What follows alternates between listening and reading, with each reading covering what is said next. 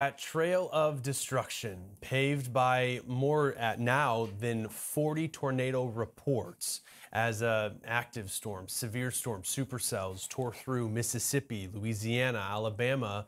Uh, now that the storms and, and the system has calmed down, things are quieter, it, it's time to assess that damage and, and begin the work to recover. Absolutely. Field meteorologist Brett Adair joins us now by phone from Winnsboro, Louisiana. Brett, great to hear from you. I know it has been a busy 24, 36 hours for your team. You know, you were out there on the ground as these storms were coming through. Walk us through what it was like last night with some of these most, you know, destructive storms.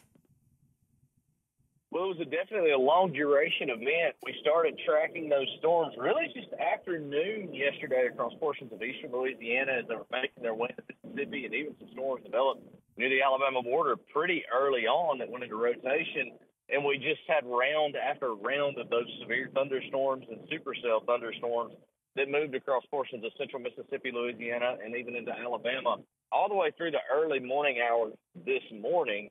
Uh, today, now we are kind of in damage assessment mode. I am currently on my way to Caldwell Parish, where we had a couple of you know pretty significant injuries last night with a tornado southwest of Winnsboro, Louisiana uh, that tracked up through the communities of Hallam and uh, the Copenhagen community there, little neighborhood uh, southwest of Winnsboro, where some homes were pretty well destroyed. So we're making our way there to take a look at that damage.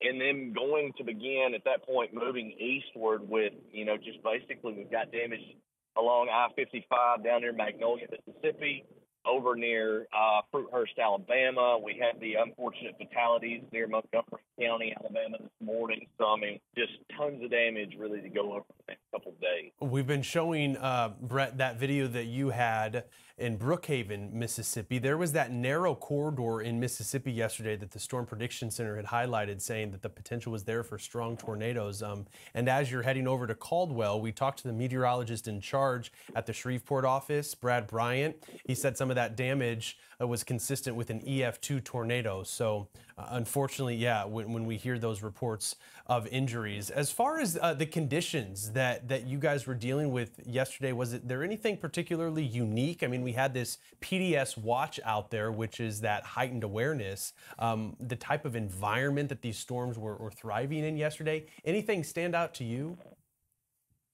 Well, there was definitely some things that we're going to learn from this event. Um, as bad as the event was, and unfortunate with the injuries and the fatalities, the couple fatalities that we do have on the board for this system, I really think it, it could have been worse. I think we dodged uh, somewhat of a bullet with uh, we we didn't really deal with the the longer track type tornadoes, at least from what I've seen thus far.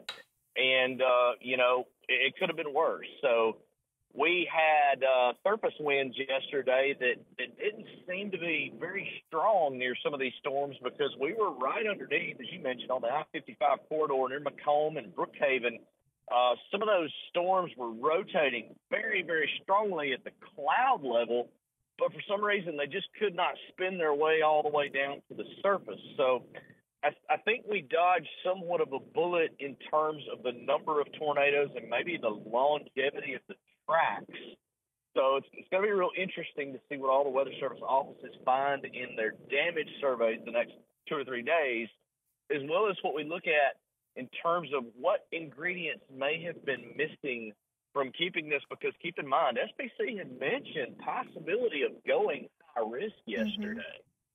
No, so, but I think you, you make a great point. I know it's always in these days that as a meteorologist, it is interesting to see, mm-hmm. you know, what was missing from the forecast that you know didn't allow it to become the event in some cases that we were really anticipating it to be with that moderate risk that significant risk you know i mean unfortunately a lot of communities were destroyed because of the tornadoes that did hit the ground i know you and your team have done a great job you know really documenting what it's like for these people to go through these storms. So thank you so much for joining us this afternoon. I know you've got another busy couple of days ahead of you, I'm sure. Yeah, safe travels there, Brett.